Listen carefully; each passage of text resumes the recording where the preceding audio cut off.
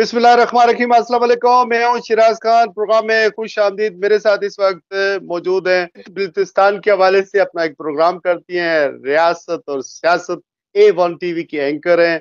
माशाल्लाह उभरता हुआ चेहरा है और खास के ताल्लुक जो है गिलगित बलूचिस्तान से है। मैं इनसे आज पूछना चाह रहा हूँ कि जो वहाँ पर हुकूमत, वफाकी हुकूमत ने वहाँ पर गड़बड़ की और जीबी में भी तब्दीली हुई और वहाँ के जो वज़ीर अला थे पहले उनकी डिग्री जो है उसको जाली करा दिया गया और कोर्ट के ज़रिए उन, उन्हें मअतल किया गया उनकी रुकनीत को मअतल कर दिया गया। उसके बाद एक हफ़्ता बाद पहले कोशिश की गई कि वहाँ पर दोबारा इलेक्शन हो लेकिन वफाकी हुकूमत ने वहाँ पर असम्बली को ताले लगा दिए और कस्टोडियन ऑफ़ द असम्बली जो है उन्हें उसके अंदर दाखिल नहीं होने दिया गया। आज दोबारा वहाँ पर वज़ीर अला का इंतखब था। आ, मेरी इतला दी है कि कमर जबान कायरा और एस एन इकबाल साहब को टास्क दिया गया था कि वो वहाँ पर जाए और वहाँ पर दोबारा इलेक्शन करवाएँ। पीटीआई के पास बाईस या तेईस वोटें अभी भी मौजूद हैं। हुकूमत कोशिश कर रही है कि वहाँ पर कोई ग्रुप बनाया जाए। अलादा से और वहाँ पर जो है अपनी कोई जिस तरह आज़ाद कश्मीर का में हुकूमत लाएगी वैसी ही कोई हुकूमत लाई लाई जाए। तो महविश मुमताज़ बेग साहिबा से पूछते हैं कि गिलगित बल्तिस्तान असम्बली की अब क्या सूरत है और आपको क्या लगता है कि पीटीआई या पीपल्स पार्टी या मखलूत हुकूमत वाबा बनेगी वज़ीर अजम किसका बनेगा और इस तरह का तजर्बा करने का जीबी के लोगों को फ़ायदा क्या होगा और नुकसान क्या होगा? शिराज साहब thanks for having me here और चूँकि आपने एक बड़ा अच्छा एक पूरा स्नैरियो जो है वो स्टार्ट में ही बता दिया कि मामला क्या थे और अभी के मौजूदा सूरत हाल क्या है थोड़ी सी एडिशन करना चाहूँगी कि वफाकी हुकूमत ने जिस तरह से पीडीएम की शक्ल में आकर पाकिस्तान तहरीक इंसाफ को साइट पर किया, वैसा कोई स्नैरियो गिलगित बल्तिस्तान में नहीं बना था। गिलगित बल्तिस्तान में अगर अभी जो सबक वज़ीर आला थे, खालिद खुर्शीद साहब, वो अगर अपनी जो जगह उनकी थी, वज़ीर आला का जो अहदा उनके पास था या कुर्सी से वो अगर हटे हैं तो उनके जिम्मेदार तो वो खुद ही हैं। बिकॉज़ एक जाली डिग्री का एक शोशा तो काफ़ी टाइम पहले निकला था, छह से सात माह पहले निकला था, जिसके ऊपर हम यहाँ पर एंकर्स बैठकर चूँकि काम भी कर रहे थे कि क्या वाकई ये चीज़ें हकाइक पर मबनी है या जस्ट अपोजिशन लीडर की जानब से ये एक प्रोपागेंडा किया जा रहा है। वॉट वॉज़ द फैक्ट इसके ऊपर हम बातचीत कर रहे थे और काम भी कर रहे थे। अब खालिद खुर्शीद साहब ने सबसे बड़ी बेवकूफ़ी जो ये किया कि चोर की दाढ़ी में तिनके वाली जो मिसाल है, उसको हकीकत में करके दिखा दिया। भाई, अगर कोई आप पे एलिगेशन लगा रहा है तो कोई स्पेसिफिकली जगह होती है, कोई प्लेटफॉर्म होता है, जहाँ पर आपने अपने सवालों के जवाब देने हैं। Now social media what is social media आजकल अगर हम बात करें नो no डाउट अगर बहुत बड़ा वेपन भी है तो इसको वेपन की तरह इस्तेमाल करना चाहिए। और बेलगाम घोड़े की तरह तो वैसे भी इस्तेमाल हो रहा है। उन्होंने अपनी जो डिग्रियाँ थी दो से तीन जो डिग्रियाँ हैं, वो सोशल मीडिया पे खुद ही अपलोड करवा दी है अपने मीडिया कोऑर्डिनेटर्स के ज़रिए से, हालाँकि उसकी ज़रूरत नहीं थी। सबसे पहली गलती जो उन्होंने वहाँ पर किया, उसके बाद ऑब्वियसली मामला चले कोर्ट कचहरी तक। और यहाँ पर ये भी बात कहना चाहूँगी, शराज साहब के खालिद खुर्शीद साहब में बड़ा स्टेमिना था कि उन्होंने क्योंकि टाइम पे टाइम लिया, कहते हैं ना, तारीख पे तारीख, और वो अपने सीट पर विराजमान रहे, लेकिन फाइनली उनको अपने सीट को खैराबाद कहना पड़ा, और इसमें नो डाउट के अपोजिशन लीडर का चूँकि वो अपने जो मौकफ था, उसके ऊपर डटे रहे। अभी चूँकि बात की जाती है कि भाई अब नया वज़ीर आला कौन होगा तो वज़ीर आला की दौड़ में तो काफ़ी लोग इस वक्त बैठे हुए हैं वो हजरात भी हैं या वो अवामी लीडर जो अपने आप को कहते हैं सो कॉल्ड जिन्होंने कहा था कि हम कमर जमान कायरा या जो भी वफाक से पीपल्स पार्टी की स्पेशली जो बंदे आएँगे हम नहीं बैठेंगे उनके साथ। और कल की ही कैबिनेट में देखी गई कि वो वो शख्सियात भी वहाँ पर तशरीफ़ फरमाते हैं, बैठे हुए थे। अब शराज साहब, मुझे जरा एक सवाल, चूँकि मेरा भी राइट बनता है कि आपसे करूँ एज एन एंकर पर्सन तो क्या वो अवामी नुमाइंदा या अपने आप को लीडर कह सकता है जो कि अपने बात पर ही जो है वो स्टैंड नहीं कर पाता? शम्स लोन साहब की अगर मैं बात करूँ, ठीक है ना?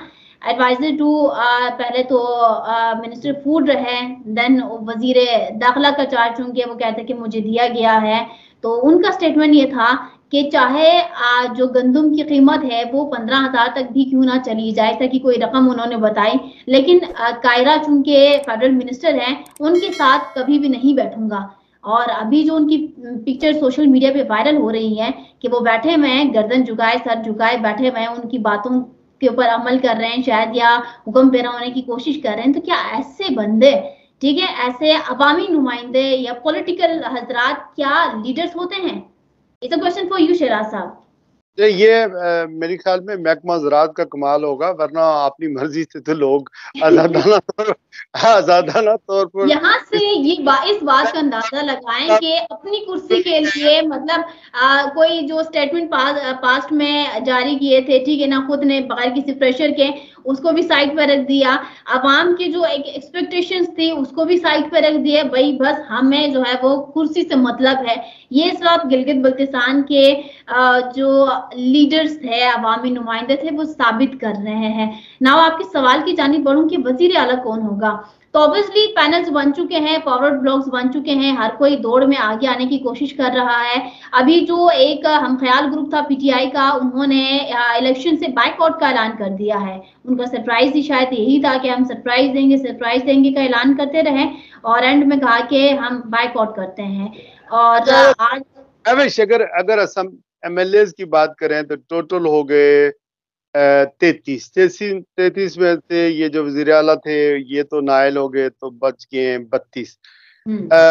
पिछले हफ़्ते तक जब नया ये राजा आज़म थे शायद वो बनने जा रहे थे उस वक्त उनके पास 24 एमएलए मौजूद थे पीटीआई के तो जब हुकूमत को खबर मिली वफाकी हुकूमत को तो इन्होंने वो इलेक्शन नहीं होने दिए और वहाँ पर ये कहा कि कोई यहाँ पर बम है तो असेंबली की बिल्डिंग में तो उसको लॉक कर दिया अब हम्म। अब मसला ये है कि वो 22 में से अभी इन्होंने एक एक ग्रुप बनाया है जो फॉरवर्ड ब्लॉक है तो हम्म। अभी ये लगता है कि नंबर किसी के पास भी पूरे नहीं है तो हम्म। नंबर पूरे होंगे तो जब जाकर इसीलिए तो वॉकआउट किया होगा ना। बारह के साथ तो नहीं बन सकते ना। उनको चाहिए कम से कम सत्रह तो चाहिए सत्रह या अठारह चाहिए होंगे ना। तभी तो वो नंबर मैजिक नंबर पूरा हो सकता है। तो नंबर पूरे नहीं है इस वजह से मेरे ख्याल में वो स्ट्राइक करें। लेकिन ये ये ये किसी को वज़ीर बनाने के लिए किसी को आइंदा टिकट देने के लिए ये वादे शादे लेकर आप ठीक कह रही हैं कि प्रेशर जो होता है ना जो लीडर होता। है वो कामत दिखाता है लेकिन। हमारे फ्री विल जो है ना फ्री मूवमेंट उसके ऊपर भी पाबंदी है अफसोस ये है कि जो आज़ाद कश्मीर या जीबी का जो इलाका है ये बड़े सेंसिटिव इलाके हैं चूँकि यहाँ पर इंटरनेशनल एक, एक एक उसकी पोजीशन है उसकी लोकेशन है इन इलाकों की तो हमें हमारी हुकूमतों को ऐसा खेल नहीं खेलना चाहिए और मैं खुश हूँ कि कम अज कम गिलगित बल्तिस्तान के लोगों को एक असम्बली, एक हुकूमत मिली ताकि उनको हकूक मिले। मैं तो मैं तो वो वो वो वो साफी हूँ कि मुझे एक दफ़ा, ये फैसल सवाल आयात परवेज मुशरफ के दौर में वज़ीर थे शुमाली इलाका जात आज़ाद कश्मीर तो मैंने एहतजाज किया था कि उन लोगों को जो है, आप पाँचवें दिन अखबार पहुँचता है गिलगित बल्तिस्तान के अंदर। आप लोगों ने दिया हुआ क्या तो वो वो उन्होंने ये कहा कि वहाँ से हमें एक रुपये की आमदनी नहीं होती। तो मैंने कहा, आप ये क्या क्या कह रहे हैं? मैं तो ये लिखूँगा अखबार में कि आप ये कह रहे हैं कि हमें आमदनी नहीं होती, इसलिए हम वहाँ उनको सहूलतें नहीं दे सकते।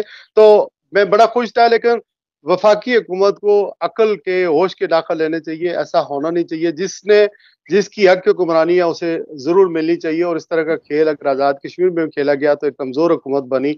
और अगर गिलगित बल्तिस्तान में भी जिसका मंडेट था लोगों की सेंटीमेंट को देखें कि लोगों ने किस जमात को वोटें दिए थी उसी का ही वज़ीर अला होना चाहिए था।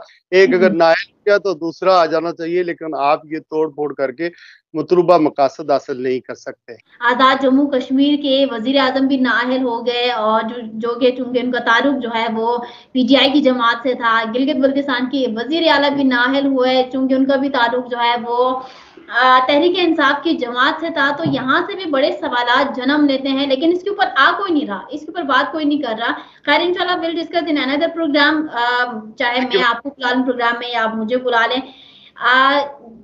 वज़ीर आला गिलगित बल्तिस्तान का बनेगा पीटीआई की ही जमात से बनना चाहिए वैसे तो लोटा बनकर बनेगा वो। कह सकते हैं लोटा बन के बने या लीडर बन के बने जैसा भी बने बट जो है ना वो तहरीके इंसाफ की जमात में से ही किसी का नाम आगे होना चाहिए। चिलास को ज़्यादा जो है वो इस वक्त उनकी नंबर्स कहूँ या फिर उनकी थोड़ी सी जो है ना एफर्ट्स ज़्यादा लग रही हैं डिस्ट्रिक्ट शिलास में से, हो सकता है या दियामर रीजन जो है हमारा, उसमें से वज़ीर अला के लिए नाम की जो एक है ना, फहरिस्त में आगे दौड़ने वाला नाम मौजूद है।